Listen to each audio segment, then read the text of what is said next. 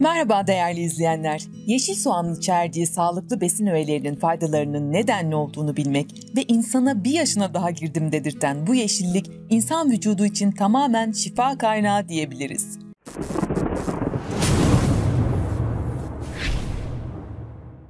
Amerikan Kanser Araştırmaları Enstitüsü, yeşil soğanla ilgili yaptığı araştırma ve tetkikler neticesinde içerdiği doğal antioksidanlarla insan vücudu için tam bir şifa kaynağı olduğunu söyledi. Flavonoidler ve insan avcısı denilen kanser hastalıklarını önlemede en etkili ilaç olduğu kayıt altına alınmış durumdadır. Tabii yeşil soğanın tümörü ve kanser hücrelerinin yayılmasını engellemesinin dışında daha birçok faydası var. Yeşil soğan kolon kanserinin yayılmasını engellemenin yanında azalmasına da yardım ediyor. Başka yapılan çalışmalar dışında yeşil soğan tümör kanser hücrelerini de azaltmada çok etkin rol almıştır.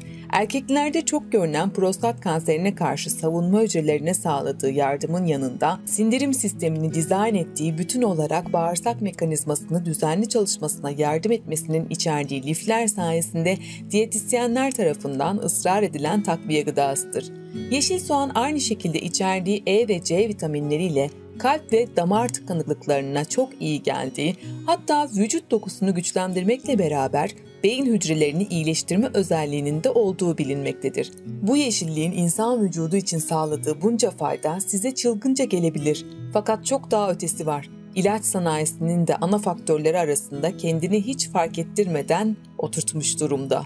Yeşil soğan mevsimlik olması sebebiyle yetiştiği kısa zamanda sağladığı faydaları saymakla bitmez. Çünkü oluşan enfeksiyon ve vücutta oluşan hasarlara karşı ciddi faydalarının olduğu aşikardır. Göz sağlığı bakımından kateroid ve gluten kaynağı olarak bilinir kemik erimesi olsun, vücut direnç kaynağı olsun, yeşil soğan tamamen C vitaminleriyle içerdiği kolajen sayesinde insana tamamen bir dayanak kaynağı oluşturmaktadır. Yeşil soğan içerdiği elementlerin detayını siz değerli izleyenler için şöyle sıralayabiliriz. Kalori oranı 32 kalori içerir. Lif olarak 2.6 gram, vitamin grupları ise şu şekilde 1.8 ve 8.8 göç eden vitamin grupları olarak süreklilik gösteren ve daha aktif rol aldığı alana göre değişkinlik gösterebilir. Potasyum olarak ise 1.5 mg, demir bakımından 1.8, protein oranı 8.8 yani birkaç tane yenilmesi halinde tek yapılması gereken şey şükretmek. Lütfen videoyu beğenmeyi ve abone olmayı unutmayınız. Bu videoları izlemenizi tavsiye ederiz. İyi günler.